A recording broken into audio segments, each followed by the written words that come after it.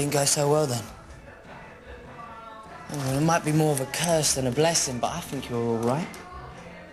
I thought my music taste represented all that was wrong with the world.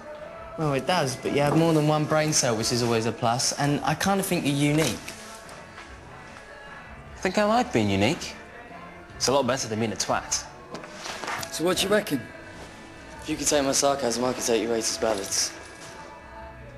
S so are we like... mates? We can even say friends if you promise not to do anything weird like hug me. How about a bloke and shoulder punch? Perfect.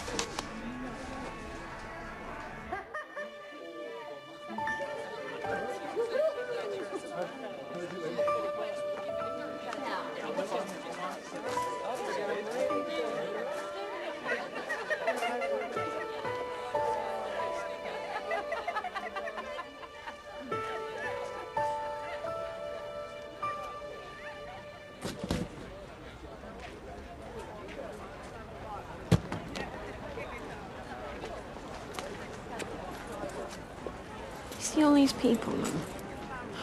What kind of parents do you think they've got? They've probably got really boring parents. I could take boring. I would love boring. Have you taken any meds since I've been gone, or did you flush them the second I shut the door? All those phone calls, did you ever think even once to call your CPN instead of me? Don't trust that CPN, Lila. He wants to sleep with me.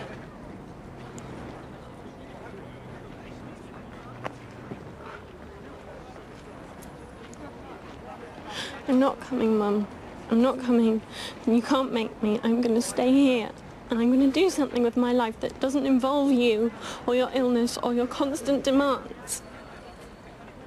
But you love me. Yeah. But you're supposed to love me too, remember? You're supposed to want me to be happy. I'm scared.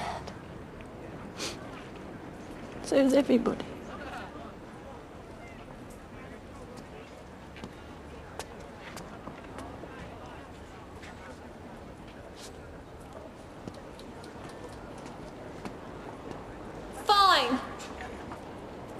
This shithole then and be a selfish little bitch.